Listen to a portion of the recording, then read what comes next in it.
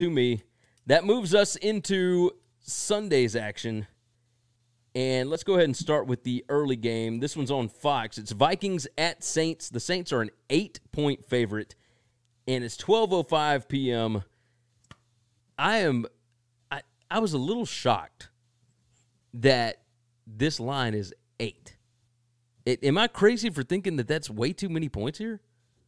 Uh, I mean, you can think that. That's fine. Well, so the uh, the prediction tracker analytics say that it should be 5.16. The so, Vikings have looked putrid lately. Yeah, the last two games definitely. I I don't think that they had well, anything really to play for. They had nothing to play for week 17, yeah. but in week 16 they did. And they played a team that I think is far inferior to the Saints. And, and had them at home. Yeah. And that was a game they had to win. They had to win that game. So at this point, I'm I'm guessing it, like just recency bias. Uh, the Saints should easily cover this, right? I I like the Saints here. I think they are the most complete team in the playoffs. I think they're the they're the most complete team in football right now. From top to bottom, they don't have a weakness. There's nothing they do bad, and they do something at every level really good to exceptional. Is is it a little absurd that they went thirteen and three and after playing wild card weekend? yeah, I, am shocked. I, all year long, Green Bay, you know, baffled us on how they're continuing to win games when they just didn't look great. Yeah. Anytime they just looked like it was smoke and mirrors and all, but they but they ended up winning. They got the tiebreaker over the Saints, so they get to the, the you know the, the bye week. But I think the Saints team's the best team in football in the NFC. Yeah, I think I think you're probably right. Like I, understand they got beat at home by the 49ers, but I think just looking at the team overall, uh, I think the Saints are the best team in football. Um, I I do wonder. I don't think there's a look ahead in the playoffs, so maybe not. I I just I feel like the Vikings are going to show up for this game. Like sure I, they are. Sure, they are. It's a playoff game. What do you mean? Are they going to show up? No, I mean like because the last two weeks, like two weeks ago, was a playoff game for them, basically against the Packers. I, I think they showed up, and I think they got beat. I don't think Kirk Cousins is good enough to do this.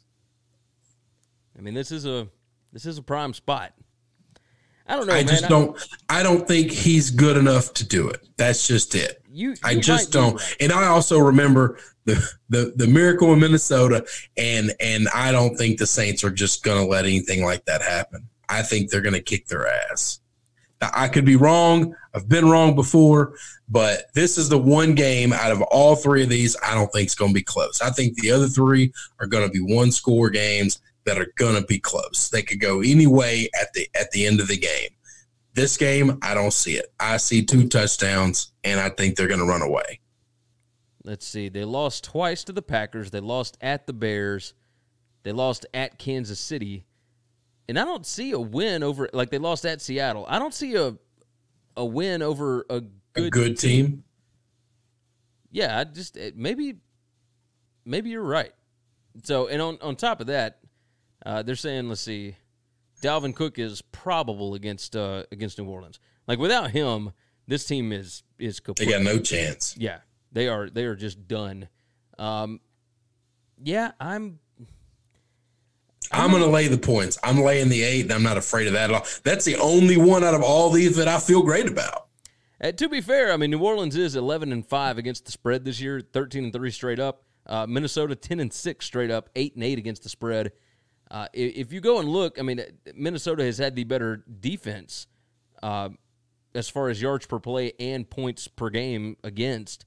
So the Vikings have had the better, yeah, and they've they've had more uh, more turnovers. They've had all that kind of stuff. So, I mean, the Vikings defense has been better, but I, I think in this situation, I mean, I, I do think that the the Saints are going to be amped up for this one.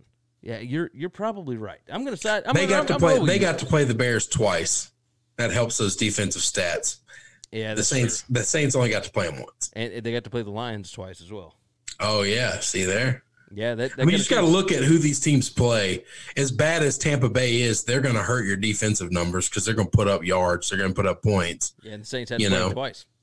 Yeah. So, so Falcons offensively are pretty that's, good. That's true. You, that's true. I mean, you can't just you just can't look at those things because they don't play equal schedules at all. Yeah. No, you're you're right. You're right.